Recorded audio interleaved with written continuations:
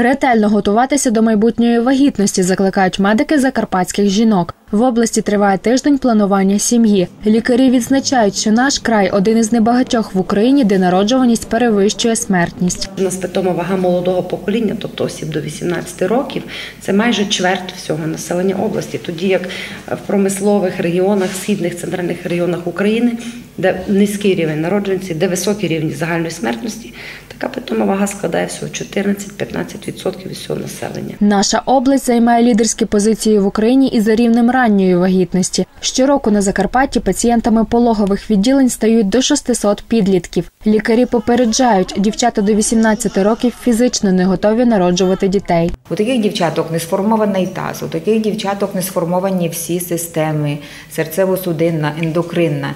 І така вагітність лягає важким тягарем.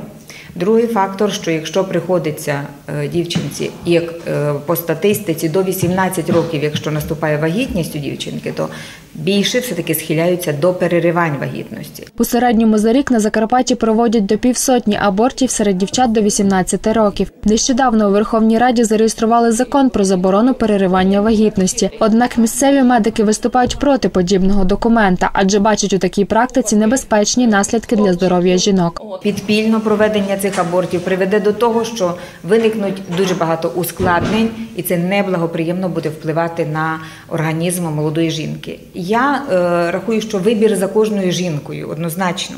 Вибір кожна жінка приймає самостійно. Загалом на Закарпатті медики відзначають порівняно невелику кількість абортів. Минулого року на 19 тисяч пологів зареєстрували понад півтори тисячі переривань вагітності. Це пояснюють високим рівнем релігійності людей і великою кількістю сільського населення, серед якого не прийнято робити аборти.